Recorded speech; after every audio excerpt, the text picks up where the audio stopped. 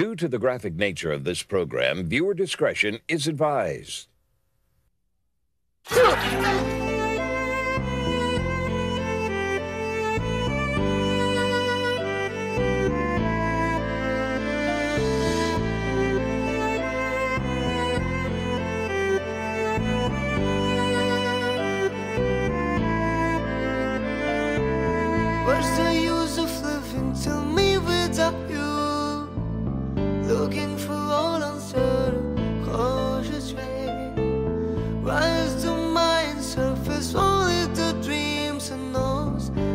What is written in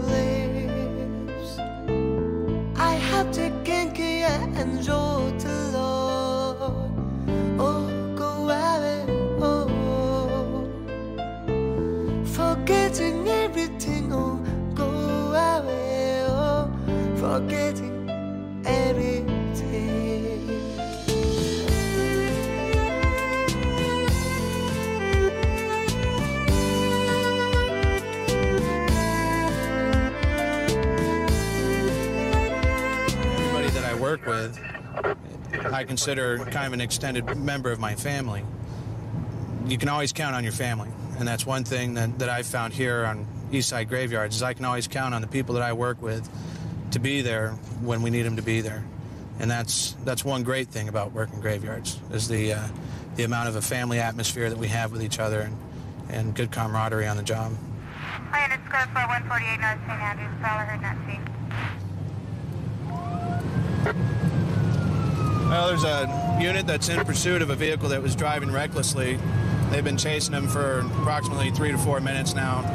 Speeds are varying from uh, anywhere from 25 miles an hour up to 80 miles an hour.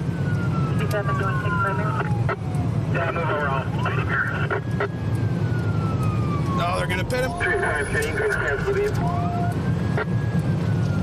Sounds like they're uh, gonna try and do a pit on the vehicle to uh, which will stop it. It's called a it's a pit. What you do is you have a car will come up and you just tap the back end of the car. A lot less damage than ramming a car, but uh, causes them to lose control of their car, and uh, usually it'll kill the engine. It's a real safe way to get. Southbound 122nd Avenue, 160 is 2234. He just rammed one of our patrol cars, and he spun around and rammed him. So that kind of ups the ante a little bit.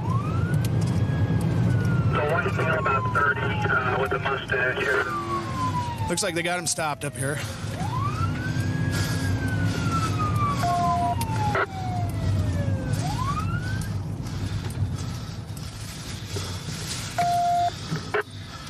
Three times, can you green cancel the approval?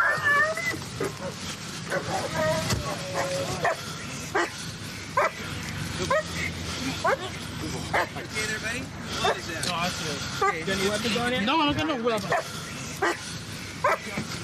Good, I got him. Good boy.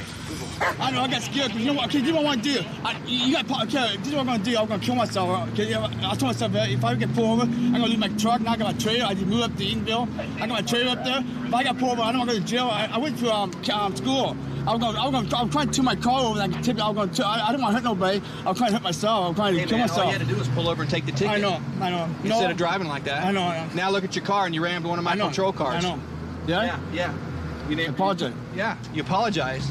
I didn't know hit when Yeah, you hit one of my cars. That's no good. All right? You know you're going to jail tonight Mm-hmm. for eluding. You're suspended, probably, your license. Yeah. I put, I put to get back in August. I put And you got four or five warrants for your arrest. No, three. While we were en route, they ran the driver. Supposedly had some warrants, but we have to verify who we have with his driver's license, and then we'll run. Well, he's running them on records right now, and that'll show if the warrants are are in the system, and they'll they'll meet him down at the jail with the rest of the charges for the chase. Like we were saying while we were en route there, he rammed one of our patrol cars, and uh, that's that's the damage you did. Nothing too serious, but uh, it's enough to heighten heighten everyone's awareness and make us think about you know rethink what we're doing. But that'll probably be another assault charge on his part. So fortunately, not too too much damage to the car or any of our pe- personnel. I'm on train. And um, I'll tell you that right now. I, I, I, I, hate myself. I hate my life. And um, I don't do a lot, but I came back up, in Oregon. You know, I just got this car, really nice car. And um, and I, I was trying to. When I see the cops chasing me, I thought, well, I had to get somewhere with no people around. I could turn my car over and try to break my neck. That's what I'm gonna do. But then I, I was trying to get a place with no people. I don't want to hurt nobody else but myself, you know. Well, you could have killed a lot of people tonight. Us, you, lots of innocent people. You were all over the place. Not a very well thought out plan.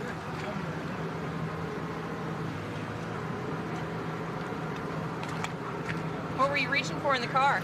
My tapes, Phil. All my tapes. All my. All my all So the- in the middle of running from the police and trying to kill yourself, you're trying to pick up all your tape? No, my tape got in my way. My my, my, by my gas pedal. I couldn't put put on the gas. Okay, what about the knife between the seats? You weren't going for that? No, I didn't No? go for. No, no, I wouldn't go for no knife.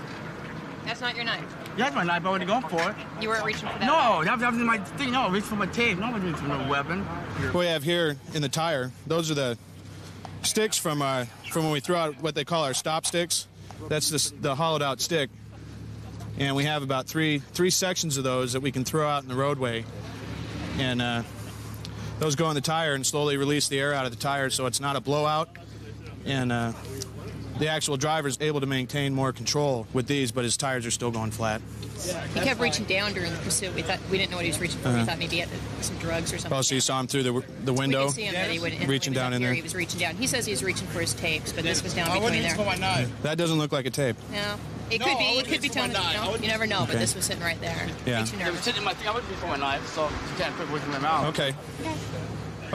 I don't put knives out. Okay. What am I gonna do? Stab myself with it? You think that he would learn spinning around in the same dead end, and uh, Were then he went lost? Did you completely off the you going? road. He was was trying to going along the the woods right right there. there. That was pretty good. But uh, if anyone was walking their dogs or anything else, he would have taken everybody out. He was, Yeah. all, he was everywhere. Now we tried to call back if there was still a problem, but we got the answer. So now we got the medics are out, and they'll they'll take a look at him, make sure he's okay, and then they'll run him up to the hospital. Any drugs or anything in the car? Nothing. I don't do drugs. I thought you said you were on Oh, uh, I credit. but I don't. I don't. I, I, I thought my friend you get a couple lines. But I don't. I last don't time buy you it. used? What? When's the last time you used?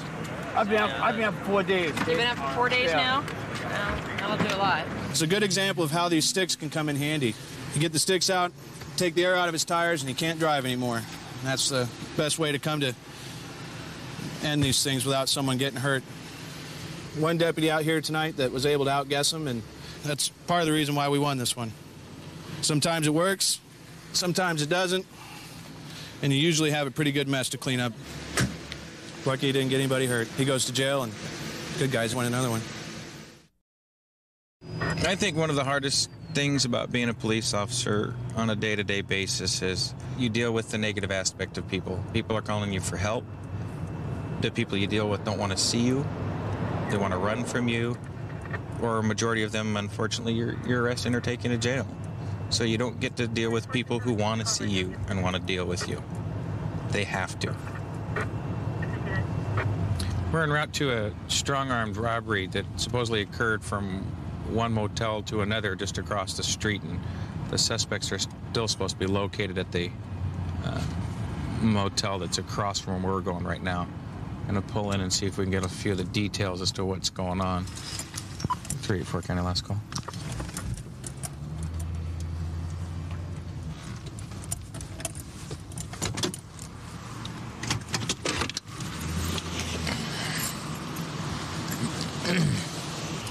He's not really telling us what's going on yet. Okay. I'm not the bad guy. Well, you gotta tell us what's going on. We don't have a clue what's going on. They were there in room four, across the street. Mm-hmm. Room four across street. Okay. I'm I'm new to this situation, so I need you to fill me in as to what's going on. 340 records. Okay. Um, I'll let you know your ash is going to hit the floor in just a second. It's about an inch and a half long. Warrants only in white. Okay. Whale. Last name Whale. Your cigarette ash. It's about an inch and a half long. It's going to fall on the floor in a second. So what's going on? I need you to kind of tell me and fill me in since I'm new to this little game. Chick ripped me off for 1750. 1750. How'd she rip you off? As far as what? What was going on at that time? I pulled out $25 For? For what? for grocery. For groceries. And she took the whole thing and said, goodbye. Why would you pay somebody to buy your groceries? Why, do, why can't you walk Go to over? the grocery store. Where? How do you know her? You never met her before? No. So you're asking somebody that you've never met before to go over and buy your groceries. Where'd you get seventeen hundred and fifty bucks at? That's not your concern. Yes, it is. I earned it. Okay, where do you work? You check the bathroom and all It's not the point. See, it is the point. Why is the point? Because that's my job to figure out what we're dealing with here. I have cash on me because they pay me cash. So you're saying that the lady stole one thousand seven hundred and fifty dollars from you. Okay, and you pulled out that much money in front of somebody you've never met before to go to the store for you to buy groceries. Do you see where I'm coming from though? Yeah, stupid thing. Okay, you've never met her before. Okay, let me ask you this, just point blank. Okay, I've never met you before or anything. Honestly, okay, be very truthful to me. I'm not going to hate you. I'm not going to anything. I'm just curious. Why did you? Why were you offering her the money? Okay, I, I don't quite buy that you were having her go to the store for you. Okay, honestly, all I'm asking you is to be honest with me. I'm being honest with you. She's going to the store, and I happen to have always keep my, all my stash in my one pocket. And when I pull it out, I whipped out 20 and a 5, and she took, I'll take the rest. What was she? What was she doing in your room in the first place? She's going to the store. No, what was she doing in your room in the first place? She's going to the store. She can make her grocery run. Okay. No, why was she in your room to begin with? You told me why she you gave her the money, but I want to know why she was here in the first place.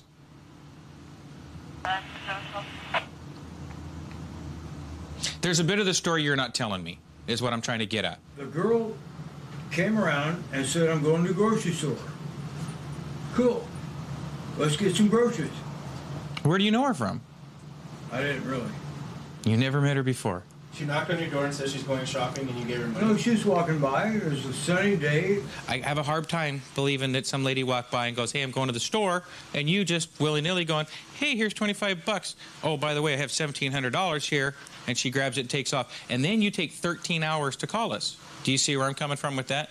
Big problem. Okay, somebody stole that much money from me, and they could take about 30 seconds for me to call the police, not 13 hours. Okay, and I don't believe that anybody would just come by and ask. You know, hey, I'm going to the store. You've never met him before. Here's some money. Go for me. The store's right across the street. You can walk yourself over there. Ain't no store around here. Yeah, there is.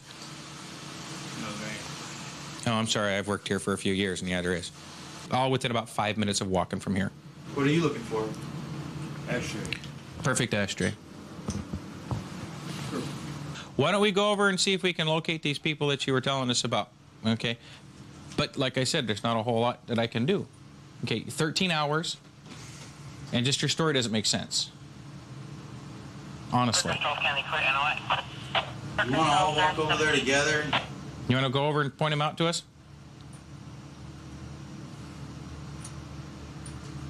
And do you think they're going to have that $1,700 in their possession still?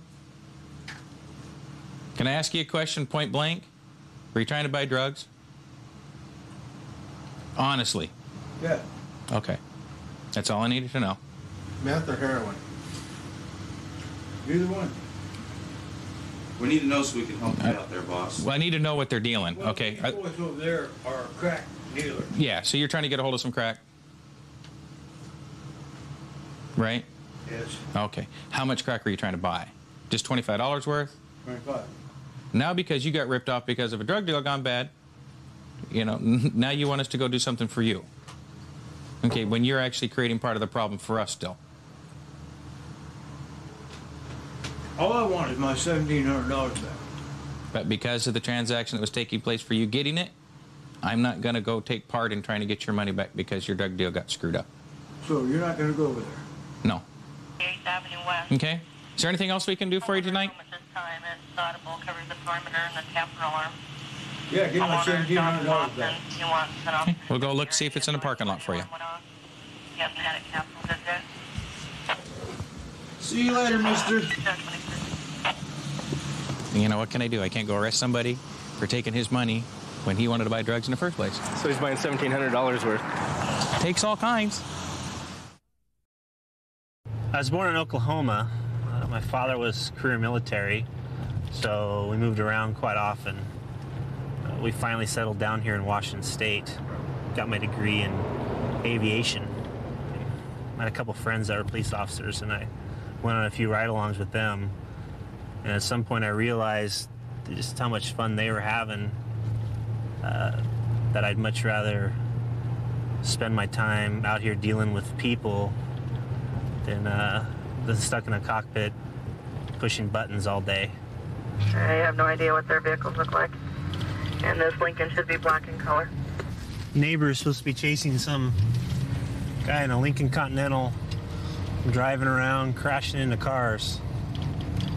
We'll go down here and see what we got. 054.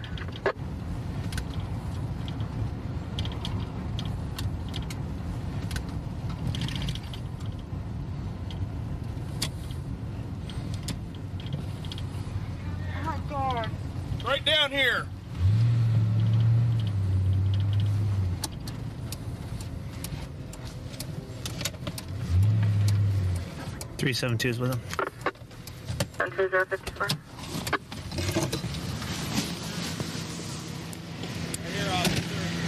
Yeah, right over here.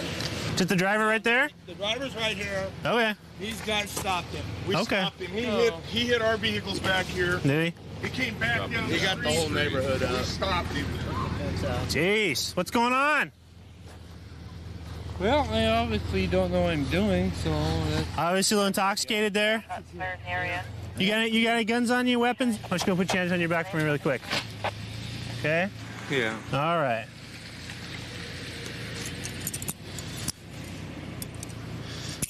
Where you live at? Right here. This right here. Yeah. So how much do we have? More than I needed, that's right. And how much is that? I'm not exactly sure. Okay, let's go back over here. Yeah, that might be good. And also DUI. 056. Can I have a cigarette? No, not yet. Hold on. Hold on. Is there medical aid needed for anyone? Oh, I won't be doing it again. What's that? For sure. Well, I won't be doing it again, that's for sure. No. At least not tonight you won't be doing it. What's your name? Dean? You been arrested before? Uh, it's been a while, but. Been a while? Never been arrested for DUI? License suspended? Nope. It's not? License licensed, insured. No kidding. Got insurance? Good. That's good. Where are you drinking at? Yeah, just down the street. Where's that at? The Tippery? No, a friend of mine's house. Oh, a friend of your house.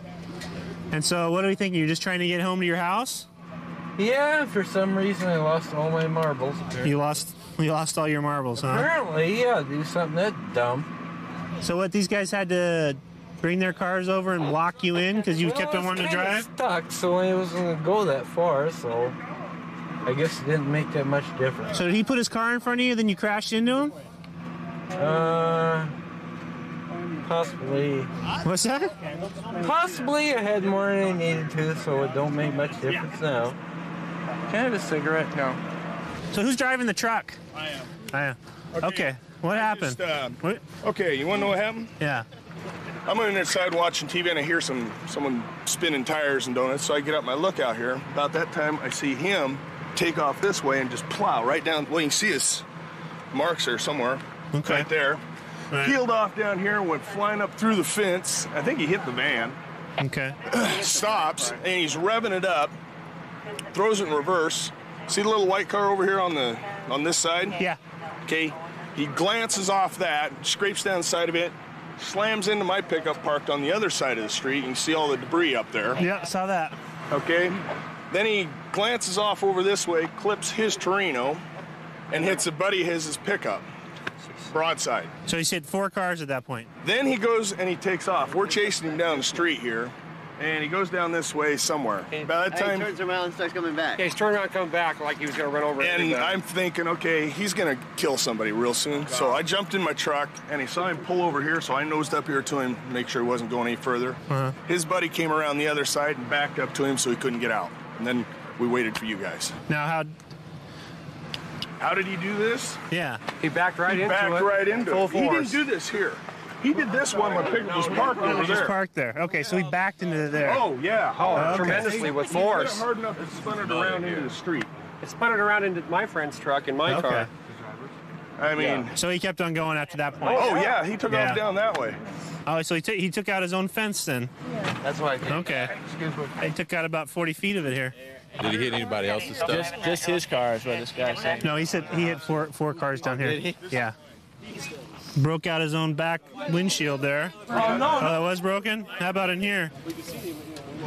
First of Daniel Cummins Spelling Middle If you look inside there, there's some, uh, looks like he still had a six pack left.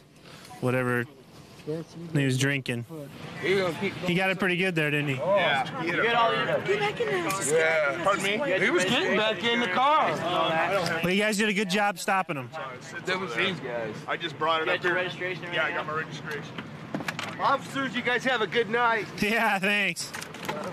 Glad nobody got hurt. Yep. Well, he's going to be uh, taken for a breathalyzer test, blow in the tube, find out what his level of intoxication is. Uh, after that, he's going to be booked into jail for uh, DUI and uh, several counts of hit and run.